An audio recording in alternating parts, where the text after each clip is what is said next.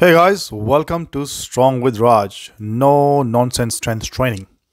So this is a quick little video of my latest workout and I'm still going at 140 150 kg type. After these squats I did some bench press which is not the part of the video. But I thought I'll speak about something that has been on my mind for a while. Um, if you watch the whole video you will see that I have not used a belt in my session. I use belt and also not use them quite often. But I must say that I use a belt every single time. Now you must be confused what I'm saying. So what I'm saying is sometimes I don't use belt. Sometimes I use the belt and I use the best belt all the time. And by that I mean I use my internal belt all the time. So for those of you who are not sure whether to wear belt or not and how to do it, I'm going to explain you the whole thing about it. You must understand, I have this concept which you should understand is that there are two types of belt. Internal belt and external belt. I don't have to tell you what is external belt. In this case, it is a weightlifting belt and uh, normally they are three to four inches wide and uh, they've got a lot of holes in them and whatnot and there is a whole group of people who are perhaps against using the belt and there are people who are using the belt and they divide themselves. I don't really care. I do get a fair bit of a heat uh, from others on comments that why i'm not using a belt and i will hurt my back one day. To those people i just have one little thing to say is that i know how to use my internal belt.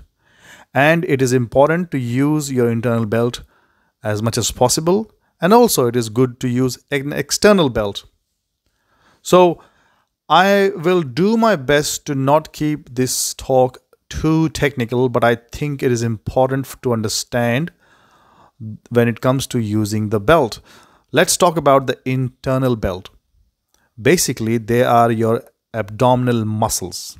Now, when we say abdominal, you will go straight into abs, which is correct, but there are quite a few different types of abdominal muscles. Transverse abdominis, which is quite a deep uh, layer of muscle.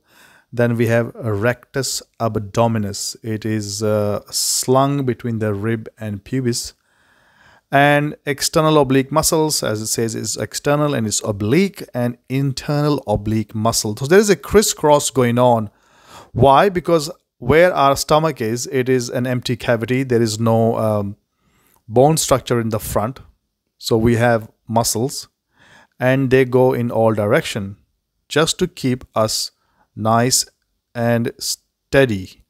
Or you can say to stabilize us. Now, when you are squatting, when a heavy bar is in your back, it is extremely important that you are stable.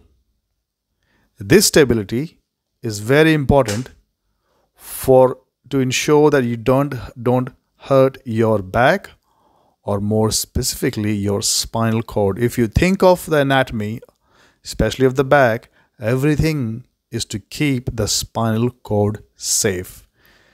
In our back also we have muscles right behind where our front abs are let's say. I, I actually think of them as my abs at the back uh, they are quadratus muscle, psoas major, psoas minor, iliacus, and so on.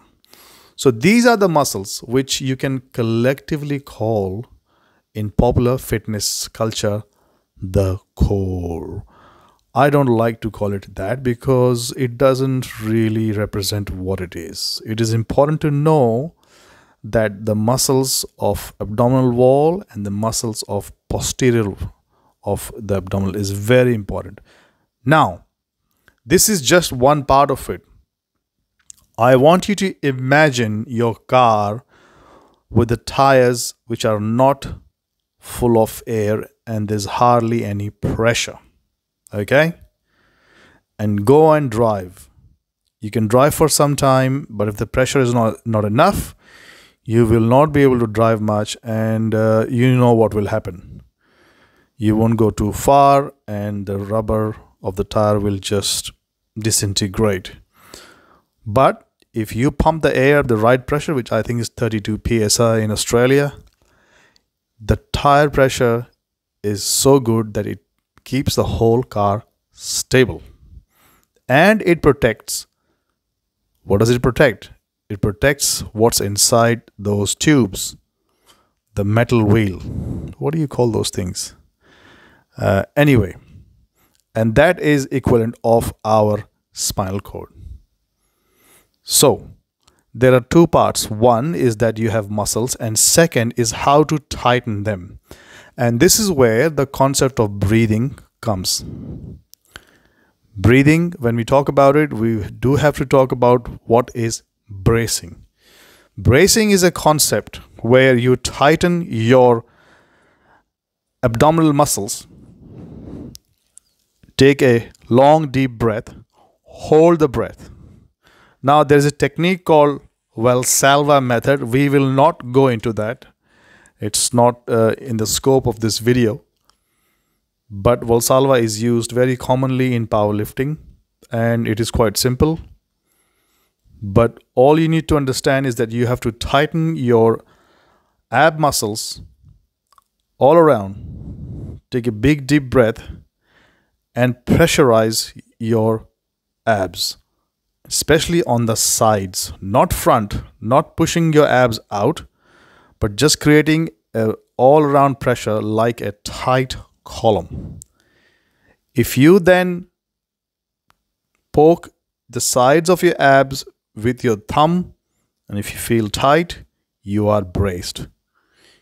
You are now ready to squat.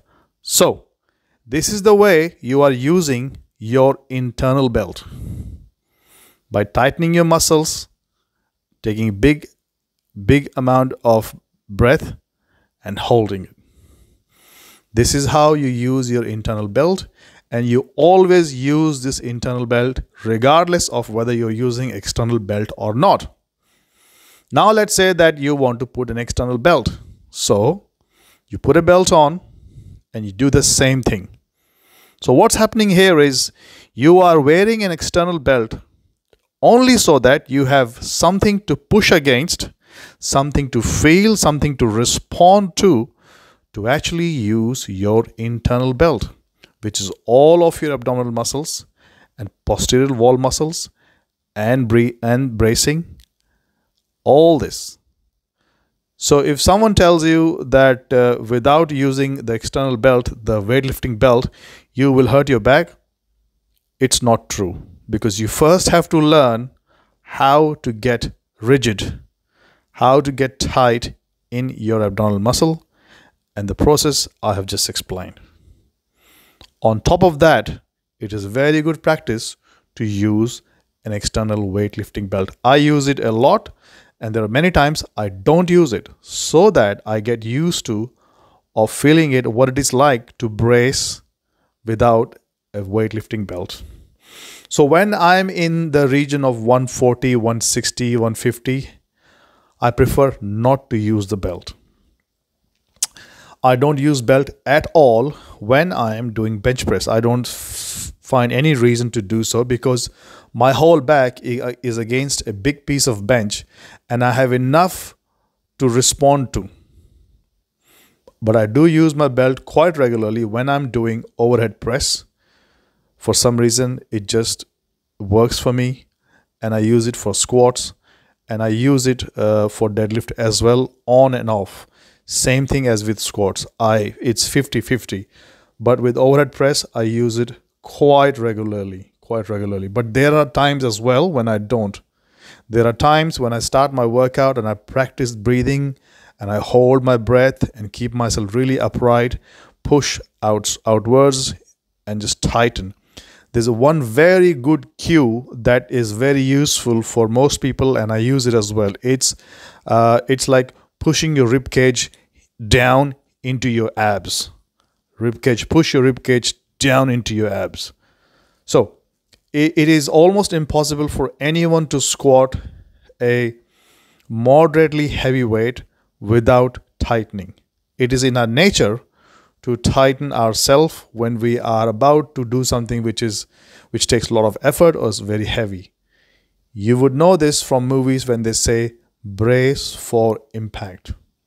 Brace for impact is exactly what we do when we are about to be challenged by something which is dangerous or difficult. We take a big deep breath and we push the car. Same thing. This is a, a survival mechanism. This is kind of a reflex that we all have. And we should be able to sharpen the skill to be able to lift heavy weights. So it is good not to be totally dependent on a weightlifting external belt, but it is good to use it. But it's even best and it's better to actually use your natural internal belt. One more point that I would like to add is that when you take a big deep breath, push your chest up and press your ribs down, tighten the belt, you are creating what is known as intra abdominal pressure. Now, think of that car tire that I just talked about. If the car tire is inflated to 32 psi or whatever it might be in your country, you are creating a pressure. That pressure you need to create in your abdominal. It's called intra abdominal pressure. I think I've been squatting from 7 8 years but it is not possible to be comfortable with that feeling. This is the problem that I have with all other exercises, especially the ones where you are in a machine and sitting down. Because you're sitting down on your butt, your body just imagines and assumes that you're in a resting position, and you almost forget to brace yourself. And if you have a heavy bar on your weight, it is impossible not to brace. Two things which are beautiful about squat is that when it is on your back, you will naturally get into a balanced position. So inherently, you're teaching yourself how to stand straight and not lose your balance. This is very important for older people. Secondly, when you have a heavyish, moderately heavy bar on your back, you will tighten up, you will brace.